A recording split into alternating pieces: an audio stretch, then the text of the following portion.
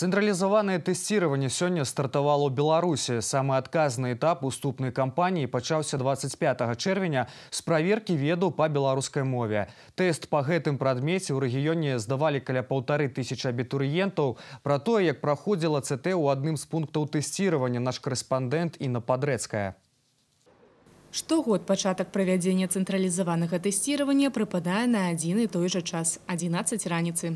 Па традыцыі абітурыенты збіраюцца ля пункта тэсціравання ўжо за гадзіну. Яшчэ раней вырашыла прайсці вераніка таўпінец.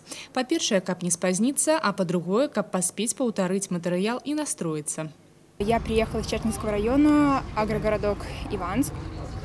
Э, Для меня подготовка к ЦТ по белорусскому языку не составляла особого труда, так как я на протяжении нескольких лет готовилась к Олимпиадам по белорусскому языку, поэтому для меня это не особо сложно.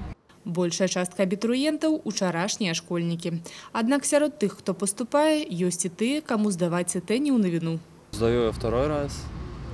Ну, сейчас белорусский сдавать, потом буду сдавать э, математику и физику. Когда первый раз сдавал, тогда репетиторы были, ну и в школе, получается. Ну, так легко. Сейчас второй раз, ну, просто вспомнился, повторил. На ўваходзе ў пункт тэсціравання у кожнага абітурыента праверялі пашпарт і пропуск. Дарэчы, пры здачы тэстаў у аўдыторыю дазволена прыносіць толькі гэтыя дакументы і ручку з чарнілам чорнага колеру.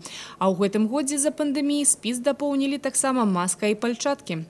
У цэлым у сувязі з эпідэміялагічнай сітуацыяй Міністэрствамі аховы здароўя і адукацыі распрацаваны шэраг рэкамендацый пра правядзенне ЦТ.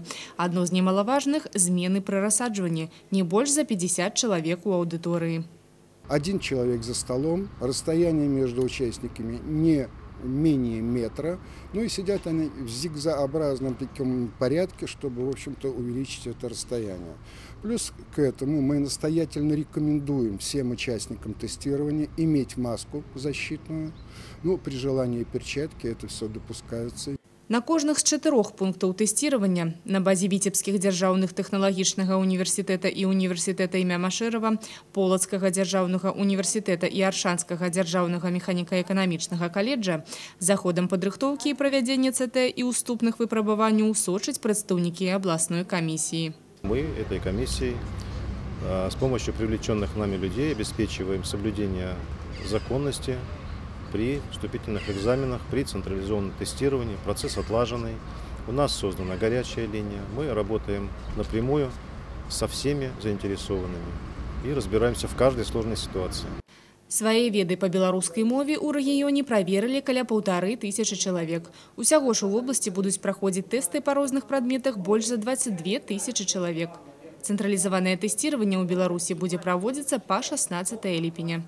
Інна Падрэцкая, Ян Пчэльнікаў, навіны Віцебск.